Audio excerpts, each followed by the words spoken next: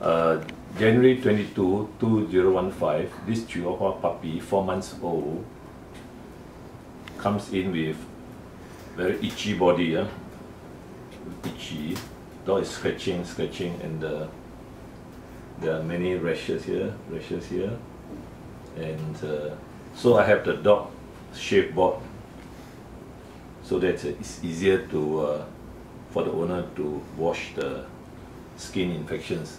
This dog was seen by another vet, and uh, the vet has given, I think, the revolution, and the vet says it's uh, scabies, sarcoptics, sarcoptic mites. That's what the vet diagnosed, and give some antibiotics, but uh, the dog still keep on scratching. So the owner comes here. Now, before shaving, there, there was a lot of hair, so you can't see. But after we shave board, you can see that there are many uh, lesions. Looks like ringworm. There are rings, huh? ringworms, rings, rings, and the rings here. Now to check for ringworm, I pluck the hair, and then uh, I put inside the tape. So we, we would. This is for the hair, for microscopic examination of the hair for ringworm. Now for mites, I will do skin scraping. Now normally we scrape until there's some bleeding.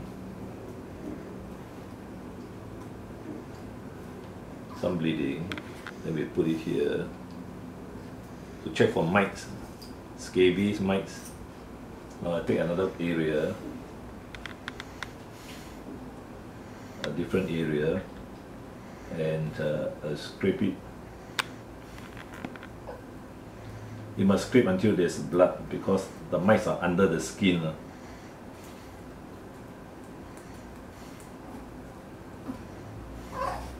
Okay, so you put the skin scraping here and uh, in this way you can check for mites, whether there's any mites or not. Then put a cover slip. So from here, you examine under the microscope so for this skin disease in puppies, normally there are two, two tests. One is the hair and one is the, the skin scraping. So the hair, microscopically, I'll bring here to check. Come here. So I will check the hair first and uh, under the microscope, look for fungus, ringworm on the hair shaft now this one there is there is a fungus but the but the the the dog has been treated so there are not many hairs affected. The dog has been treated for at least two weeks by the other vet. Shampoo and cream and uh, some tablets. Okay so this is the microscopic examination of the hairs from the ringworm lesions. So I take this out. Then now I will check the skin scraping for mites, Demodex or sarcoptics, mites, skin mites. I put it in. Then uh, I, I will check for any mites or not.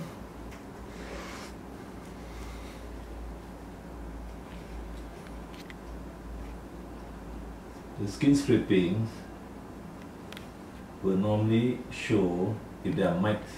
But because the owner has used revolution and uh, what from the vet so it's unlikely to see mites. And uh, the complaint now is that the dog is still scratching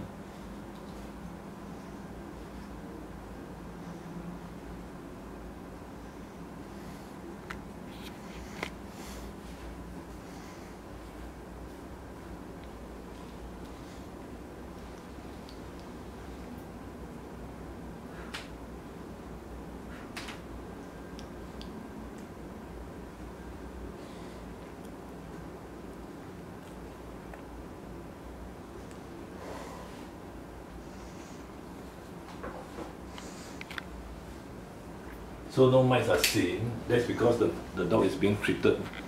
The dog has been treated about two weeks by the from medication by the other vets. So so the skin scraping is negative for mites. So it's not surprising because of the treatment for the spot on the revolution. So now we check the ears. Now scabies, you have crusty ears. But uh, now the ears looks okay, not crusty. The other ear, wait, hold this. Now check the, the ear edges for dogs. If it's scabies, you will have uh, crustiness, but uh, so far it looks okay, clean, looks clean. So the main diagnosis is generalized ringworm, uh, and, it, and actually this one is seen under the microscope. And uh, these are the old ones. Some of them are bacteria as well. Yeah. Now bacteria, bacteria also comes like dogs. Huh?